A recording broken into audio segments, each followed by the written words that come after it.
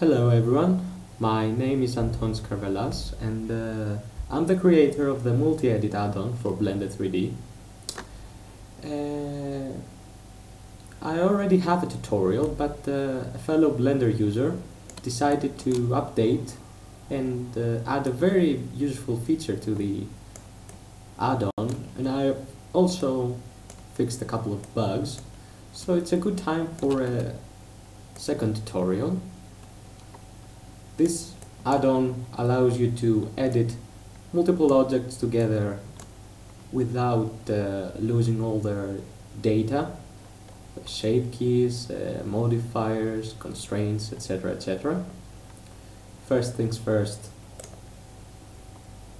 we need to install the add-on, so you go to File User Preferences, and I do hope you already know that. Add-ons tab, and uh, install from file. You've probably downloaded a zip file, so you just go to where you've downloaded it. So here is the zip file or the .py file. Uh, you search for multi-edit and uh, in case you have multiple uh, add-ons installed you want a want the one zero version where it's going to have uh, two authors in the uh, author section. So you just enable it. And if you want you can save user uh, user settings. You close it and uh, let's see. Multi-edit enter and multi-edit exit and the preserve location rotation scale we're already there.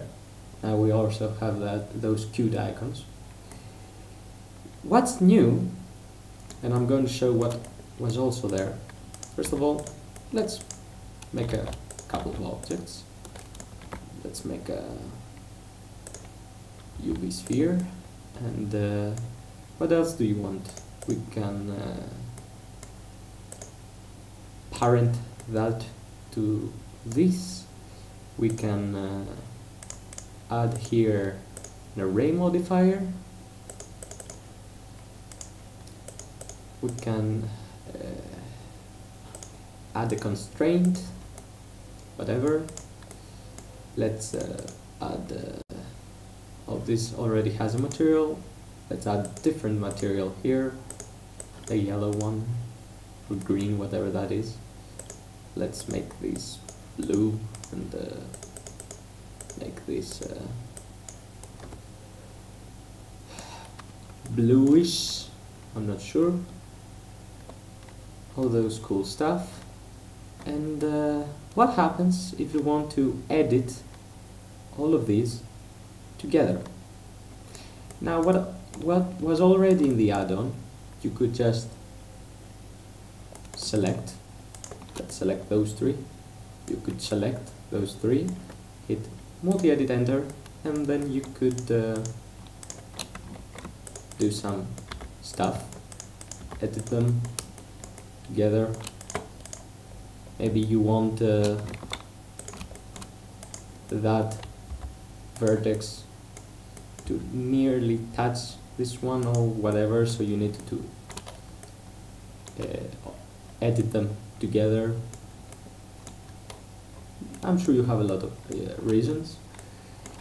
And uh, then you could just hit multi-edit exit. And uh, as you can see this object has changed but has retained its material. The modifier this object has retained its material and uh, it's parented like it was before. Everything is as, it should be. Now what has changed since then is that if you click on multi-edit mode start and then have this enabled you can disable it whenever you want but let's leave it enabled. You can simply select multiple objects and then when you enter edit mode it automatically enters the multi-edit status if you want. And uh, that's a very natural way to edit those objects however you want to. You know. And when you're done, you simply exit the edit mode. And everything is as it should be. The objects have uh, retained their modifiers, their constraints, their materials, pretty much whatever I could think of that you would want. Of course, if you find that little detail is not retained, you can always uh, suggest uh, the idea so uh, maybe I can figure it out and add it in the future. But so far this is a very good way to work with multiple objects if you want to do some precision modeling or if you want to maybe I've heard of people scalping them together. All sorts of stuff. Thanks again to uh, Dimitris the contributor of the uh, of the new feature for his effort.